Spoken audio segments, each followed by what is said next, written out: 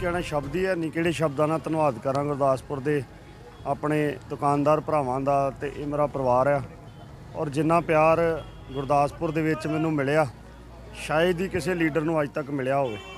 ਕਿਉਂਕਿ ਇਹ ਪਿਆਰ ਮੁੱਲ ਖਰੀਦਿਆ ਨਹੀਂ ਮਿਲਦਾ, ਪੈਸਿਆਂ ਨਾਲ ਨਹੀਂ ਮਿਲਦਾ। ਤੇ ਜੋ ਵਿਸ਼ਵਾਸ ਲੋਕਾਂ ਨੇ ਮੇਰੇ ਤੇ 17 ਚ ਜਤਾਇਆ ਸੀ, ਕੋਸ਼ਿਸ਼ ਕੀਤੀ ਆ ਉਹ ਪੂਰਾ ਕਰਨ ਦੀ। ਔਰ ਅਜਿਹੀ ਕਾਰਨ ਹੈ 5 ਸਾਲ ਸ਼ਹਿਰ 'ਚ ਸੁੱਖ ਸ਼ਾਂਤੀ ਰਹੀ ਆ।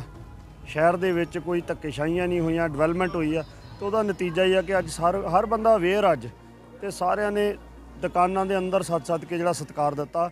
ਮੈਂ ਇਹ ਵਿਸ਼ਵਾਸ ਦਵਾਉਣਾ ਕਿ ਜਿਹੜਾ ਵਿਸ਼ਵਾਸ ਇਹਨਾਂ ਨੇ ਮੇਰੇ ਤੇ ਪ੍ਰਗਟ 17 ਚ ਕੀਤਾ ਸੀ, ਉਹਦੇ ਨਾਲੋਂ ਕਈ ਗੁਣਾ ਵੱਧ ਆਉਣ ਵਾਲੇ 5 ਸਾਲ ਦਾ ਜਿਹੜਾ ਡਿਵੈਲਪਮੈਂਟ ਦੇ ਰੂਪ ਚ ਵਾਪਸ ਫੇਰ ਸਤਿਕਾਰ ਇਹਨਾਂ ਦਾ ਮੋੜਾਗਾ ਕਿਉਂਕਿ ਸੈਕਿੰਡ ਟਾਈਮ ਐਕਸਪੀਰੀਅੰਸ ਵੀ ਹੋ ਗਿਆ ਫਸਟ ਟਾਈਮਰ ਸੀਗਾ ਤੇ ਸੈਕਿੰਡ ਟਾਈਮਰ ਦੇ ਵਿੱਚ ਤੁਹਾਨੂੰ ਪਤਾ ਮੈਂ ਗੁਰਦਾਸ, ਮੈਨੂੰ ਸ਼ੌਂਕ ਆ ਕੰਮ ਕਰਨ ਦਾ ਔਰ ਕਰਦਾ ਇਦਾਂ ਹੀ ਕਰਾਂਗਾ ਕੰਮ।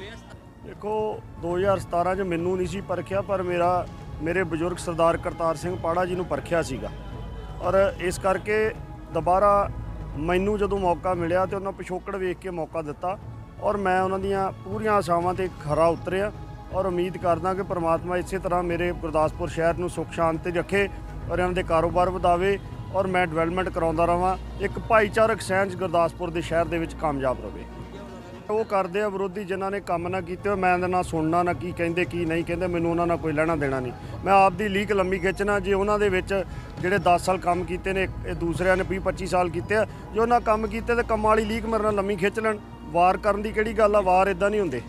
ਦੇਖੋ ਅੱਜ ਜੇ ਮੈਂ ਤੁਹਾਨੂੰ ਸਹੀ ਮੈਣਿਆਂ 'ਚ ਦੱਸਾਂ ਨਾ ਅੱਜ ਕੋਈ ਕਾਂਗਰਸ, ਬੀਜੇਪੀ, ਅਕਾਲੀ ਦਲ ਇੱਥੇ ਨਹੀਂ ਹੈਗਾ, ਕੋਈ ਆਪ ਉਪ ਕੱਖ ਨਹੀਂ ਹੈਗਾ। ਅੱਜ ਸਾਰਿਆਂ ਨੂੰ ਇੱਕੋ ਚੀਜ਼ ਦੇਖਦੀ ਹੈ ਡਿਵੈਲਪਮੈਂਟ ਔਰ ਮੈਂ ਵੀ ਓਨੈਸਟਲੀ ਕਹਿ ਰਿਹਾ, ਮੈਂ ਵਿਸ਼ੇਸ਼ ਪਾਰਟੀ ਦਾ ਐਮਐਲਏ ਬਣ ਕੇ ਨਹੀਂ ਦੱਸਿਆ। ਮੇਰੇ ਕੋਲ ਹਰ ਪਾਰਟੀ ਦਾ ਬੰਦਾ ਕੰਮ ਆਉਂਦਾ ਰਿਹਾ ਔਰ ਮੈਂ ਖਿਹੜੇ ਮੱਥੇ ਉਹ ਕੰਮ ਕਰਦਾ ਰਿਹਾ। ਅੱਜ ਪਾਰਟੀ ਬਾਈ ਤੁਸੀਂ ਕਿਹੜੇ ਚਿਹਰੇ ਵੇਖੇ ਅੱਜ ਮੇਰੇ ਨਾਲ? ਸਾਰੇ ਕਾਂਗਰਸੀ ਤੇ ਨਹੀਂ ਗਏ, ਸਾਰੇ ਪੋਲੀਟੀਕਲ ਨਹੀਂ ਸੀਗੇ। ਸੀਨੀਅਰ ਸਿਟੀਜ਼ਨ ਸੀਗੇ, ਕੋਈ ਕਿਸੇ ਪਾਰਟੀ ਨਾਲ ਸੰਬੰਧਿਤ ਸੀਗਾ ਬਟ ਕਦੇ ਹੋਰ ਇਲੈਕਸ਼ਨ ਜਿਹੜੀ ਆਏਗੀ, ਉਹ ਅਸੀਂ ਦੇਖਾਂਗੇ। ਪਰ ਗੁਰਦਾਸਪੁਰ ਦੀ ਜਿਹੜੀ ਐਮਐਲਏ ਦੀ ਇਲੈਕਸ਼ਨ ਆ, ਉਹ ਡਿਵੈਲਪਮੈਂਟ ਦੇ ਨਾਂ ਤੇ ਆਪਣੇ ਛੋਟੇ ਭਰਾ ਦੇ ਆਪਣੇ ਬੱਚੇ ਬਰਿੰਦਰਮੀਤ ਸਿੰਘ ਪਾੜਾ ਨੂੰ ਵੋਟਾਂ ਮੈਂ ਪੂਰੇ ਹਲਕਾ ਨਿਵਾਸੀਆਂ ਨੂੰ ਇਹੋ ਬੇਨਤੀ ਕਰਦਾ, ਕੰਮ 5 ਸਾਲ ਦਿਨ ਰਾਤ ਮਿਹਨਤ ਕੀਤੀ ਹੈ ਤੇ ਮੇਰਾ ਹੱਕ ਮੈਨੂੰ ਵਾਪਸ ਵੋਟਾਂ ਰਾਹੀਂ ਦਿਓ ਤੇ ਮੈਂ ਤੁਹਾਨੂੰ ਫੇਰ ਇਹਦਾ ਜਿਹੜਾ ਰਿਵਾਰਡ ਉਹ ਡਿਵੈਲਪਮੈਂਟ ਰਾਹੀਂ ਵਾਪਸ ਮੋੜਾਂ